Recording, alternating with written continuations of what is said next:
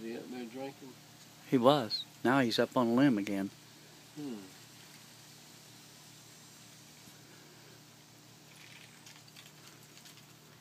I never paid much attention to him.